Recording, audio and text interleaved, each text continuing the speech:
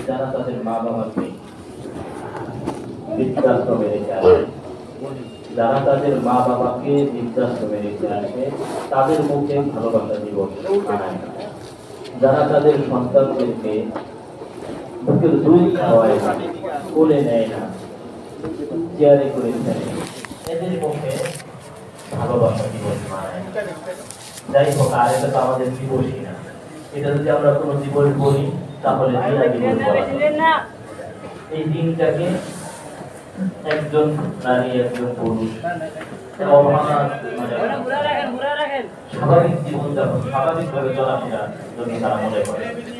এখানে একজন ভালোবাসা প্রকাশ করা দিন মনে করে।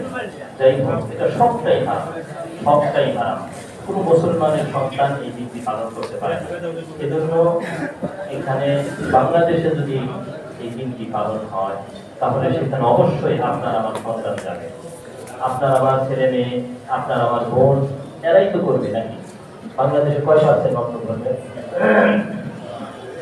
এই মুসলমানের সন্তানেরাই করবে, আমাদের সন্তানেরাই করবে। এই জন্য আমি সকলকে বলব, অনুরোধ করে বলব, আমাদের এখানে কারও সন্তান যেন ভালোবাসা দিবসে অংশগ্রহণ করতে না পারে।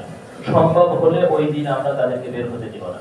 লাগবে না কোচিং, লাগবে না স্কুলে পিকে বন্ধ।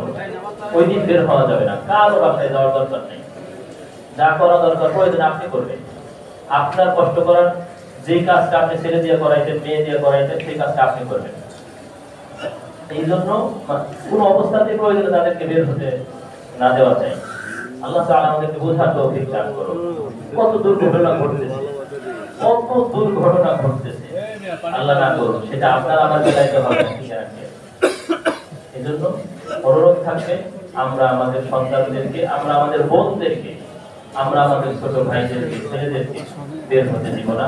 বা কোনো অবস্থাতে এই ভালোবাসা দিবস যেন তারা কোনোভাবে মানে এটা তো আর মানে আনুষ্ঠানিকভাবে পালন করার বিষয় না।